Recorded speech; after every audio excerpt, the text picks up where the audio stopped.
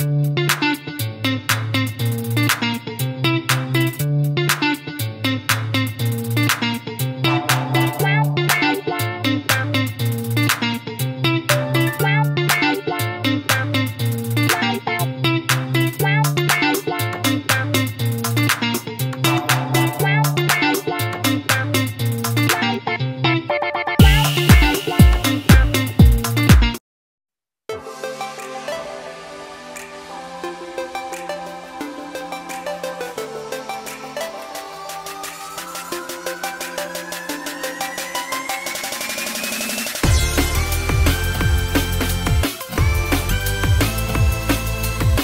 difference between pull-ups and chin-ups are the pull-ups are a wider grip, so you use less bicep and more lats, so upper and mid-back muscles, and the chin-ups are closer and supinated grip, which means you use more bicep